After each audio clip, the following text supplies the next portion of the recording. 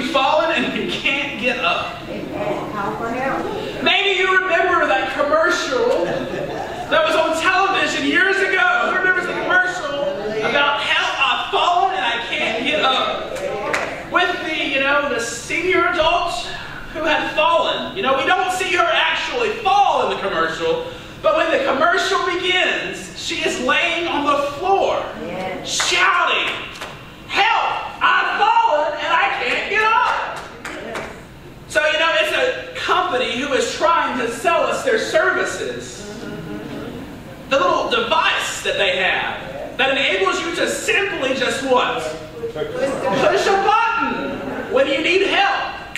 Well, about four years ago, when I worked at a church in Mooresville, and I was a youth minister there at the church, we were uh, out during the summer, of course, the hottest part of July, working at uh, one of our senior adults' homes.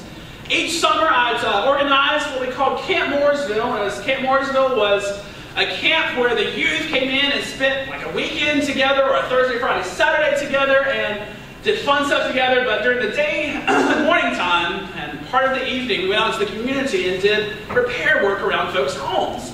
And so, this one day, I took the youth out to uh, a lady's name. Um, her name was uh, Miss Willie. And Miss Willie was in her early 90s. And we just needed to do a little yard work at her house. And we really didn't need to do any yard work, but you know, that's okay. That's not the story. But Miss Willie just needed us to come out there and hang out a little bit and just spend time with her. Well, as we were out there doing some yard work. We see Miss Willie coming down in her walker. 90 years old, coming out to check in on us and see how we're doing, make sure we were not getting too hot. And she had a little uh, bag beside of her that had water in it. Miss Willie, that's so sweet of you to bring us water. We're so grateful. And then I turned my back and next thing I know, they're like, Edward! Miss Willie has fallen. She can't get up. Whew, at that moment, like, oh, what do I, what do I do? What do I do? I was like, I got, I couldn't find my cell phone, and I was panicking everywhere, and I was like calling for another adult, and I was like, can you call 911? But at that moment, I didn't know what to do, and I didn't have my cell phone on me or anything. But Miss Willie was laying right there over there on the ground, just laying there. And so finally, I was like, ah, oh, I saw this necklace that Miss Willie had around her neck. Yeah. And so, good thing I remember from my commercial. Miss Willie has fallen and she can't get up. So I pressed the button. And they come on and start talking to me. What is your emergency? Wow. How amazing that this company that I got to see on TV, this thing is actually going into action. Well, praise the Lord for that. So you may remember that commercial, of course. And of course, Miss Willie, you press the button, and they got on there, and the ambulance was there in no time. And maybe some of you have one of these. Or maybe you know someone that does have one. But that thing I think is called Life Alert or something like that, that they try you know, to sell people, you know, when they have times that someone has fallen and they can't get up. But the bottom line is that when we fall, you know, it's not a joking matter. And there are times in our spiritual walk that we fall and we can't necessarily always get back up right off. And sometimes we fall so hard that we can't get up by ourselves.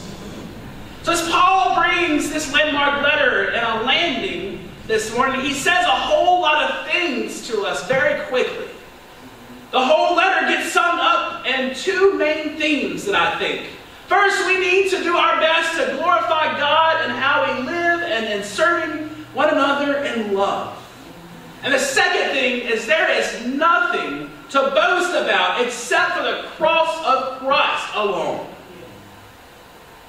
It's all grace, and after all, it's about gratitude.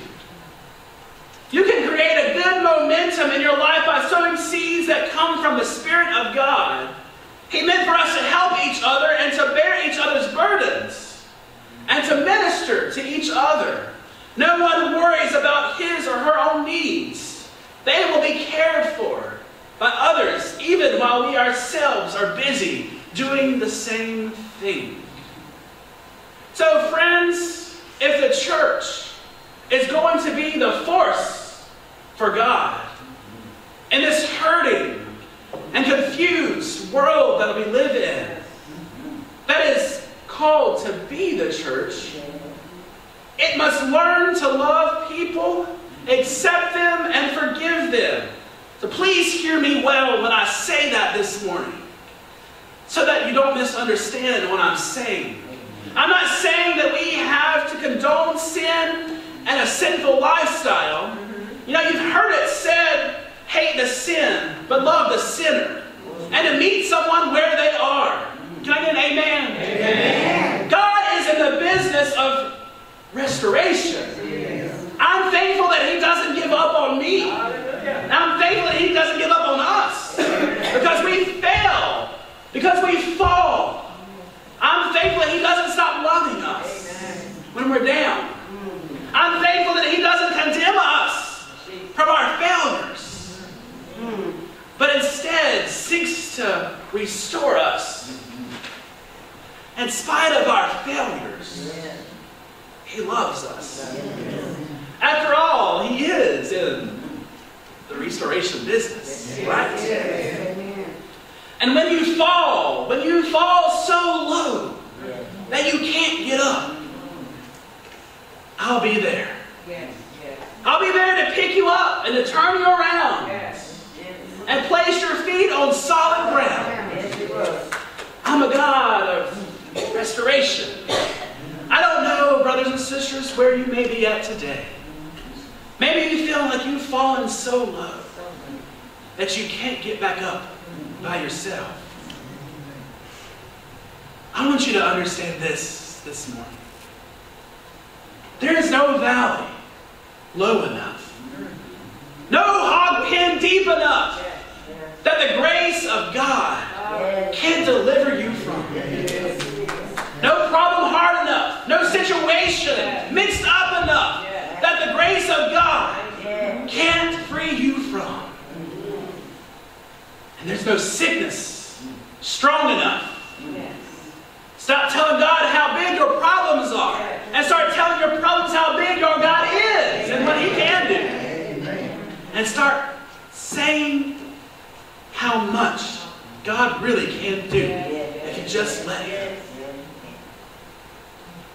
Friends, it's time that we stop stressing. God knows what He's doing. Don't be discouraged by your closed doors. If God wants a door to open, you can be certain it will be open. And all the forces of darkness can't stop it. Stop fighting with one another and start restoring one another.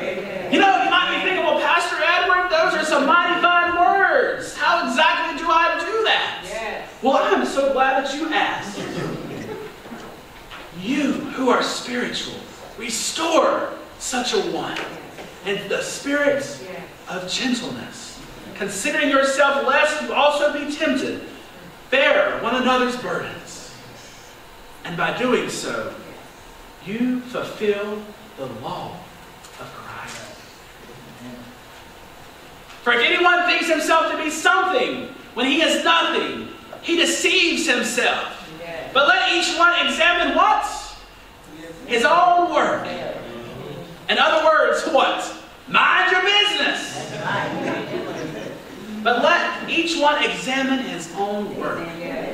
And then he will have rejoicing in himself alone. And not in another. Let those who are spiritual restore the fallen brother or sister. I think many times we don't understand what true spirituality is. It's more than being able to quote scriptures to someone. It's more than looking holier than thou. It's more than speaking in tongues. It's more than financially supporting the church. It's loving folk just where they are, just as Christ loves them, brothers and sisters. So what makes it so hard? It's picking up and helping that brother or sister who's falling. The last thing something someone that falls needs and can't get up, what they you know don't really need to have someone pointing a finger at them, judging them in their face. And you know, believe it or not, the last thing that someone who's fallen and needs a little help in getting up needs is another Bible verse stating why they should have never fallen in the first place. You know, I'm going to get a little real right now. And that's okay. I'm only pointing here for a year at a time. So, gotta get it. Just kidding. I'm going to be here as long as the bishop allows me to be. But, yes, you know, a Bible verse is great, but I think what they really need is an arm, shoulder to cry on. A kind word in their ear saying, you know what, Sally it's going to be okay. It's going to be okay because God is with you. I'm with you. I'm here to help you and to support you. I believe that that's what the church is all about. Being the true, the true disciple, an example of Christ. Than just spitting. Well, Psalm 139, 14 says, you know you shouldn't have been doing that. Brothers and sisters, you know, I am going to be honest with you think that that's what turns folks away sometimes from church. When we are repeatedly, repeatedly putting them down. Yes, yes, yes. And not really being nice to them. I mean, I'm guilty as well.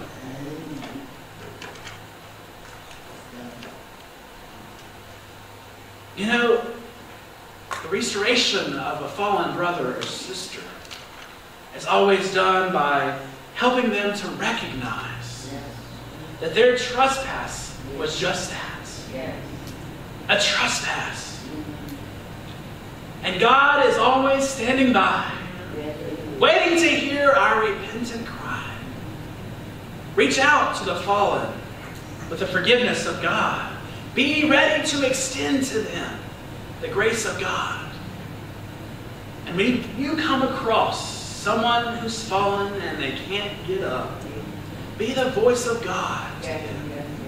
Be the heart, be the arm, be the shoulder to cry on, the ear. When you come across someone who's fallen, be to them what you would want them to be to you. So, what does that mean? And the cross of Christ, I glory lived high the cross. May it be forever and ever, amen. That we glory in the cross of Christ and not boast and make it about us. That's something hard that we can struggle with sometimes. May everything that I say and everything that I do just bring Christ the glory. Because He's what it's all about. And I hope that I were to breathe my last breath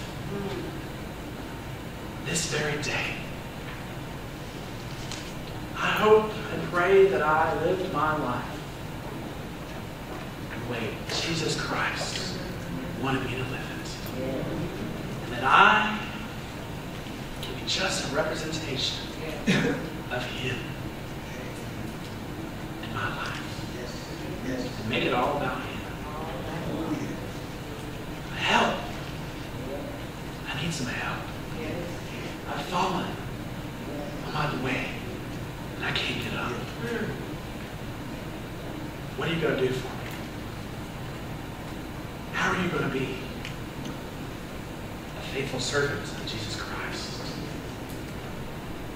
Are you going to glory in the cross of Christ?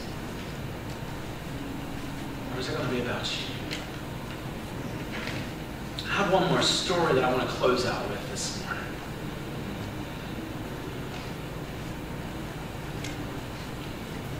A faithful servant of Christ in a former church that I worked in. Her name was Ruth. Each Sunday, Miss Ruth and her late 80s would come into church, happy as could be, still driving herself to church each Sunday. Praise the Lord for that. Amen. And at the first church that I served in, uh, that I talked about earlier, I sang with the choir. And each Sunday, Miss Ruth would look up in the choir and give me a little wave. And as we got up to sing the anthem for that Sunday, she'd stick out her tongue. and of course, each Sunday after worship, I'd go up to her and say, Miss Ruth, you've got to stop sticking out that tongue. Because I couldn't hold it together sometimes and just laugh. Get a little tickled. But then I started noticing that Miss Ruth was missing sometimes at Sunday, and so I'd always call over to see how she's doing. And she's like, Well, Edward, I'm just not feeling well this week. Or I just didn't feel like coming to church. Miss Ruth, you know you love coming to church. Well, you know, I'm just not feeling well. So then I began to notice that Miss Ruth's health started declining a little bit. Meanwhile, as well, I started receiving cards from a secret person that said, I'm thinking and I'm praying for you, but they never signed it. And each week, there was a little money in there. I'm like, wow, Lord, is this from you from heaven? Or, you know, what's this all about? And then the very last week, I received a card that this person wrote in there who it was from. Miss Ruth. The last week that she was alive, she was still sending me cards with money in it.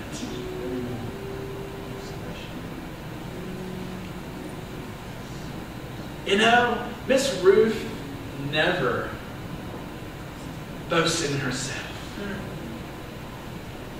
She never, never complained about anybody. Never even talked bad about the preacher. The only thing that I heard her say was, well, it was a good sermon, but you could have done better. but the one thing that I know for sure is that Miss Ruth loved the Lord. Amen. And she lived her life doing what Christ had blessed her with. And it was a blessing to do it for someone else. And she always, always gave thanks to God. And I'll never forget, she said to me, Edward, I just love you. And I praise God for you. May you never forget that it was God who created you, a God that loves you,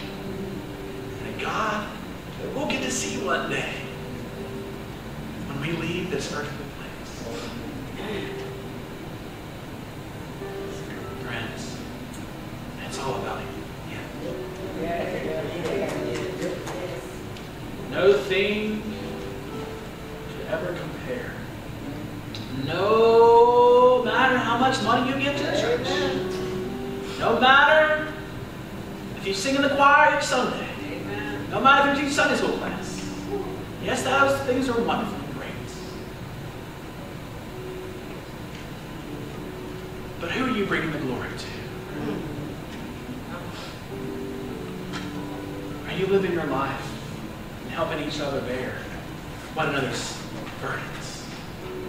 Helping someone out when they have fallen and they need some help to get up? Are you just pointing fingers, whipping out your Bible and turning to that scripture?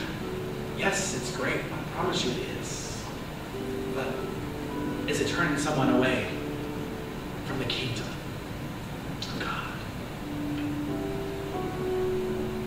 come to the table this morning, as forgiven children of God, may we come and boast and feast on the one true King of glory, who loves us more than we can ever imagine, more than we can ever fathom or comprehend. You come to the table just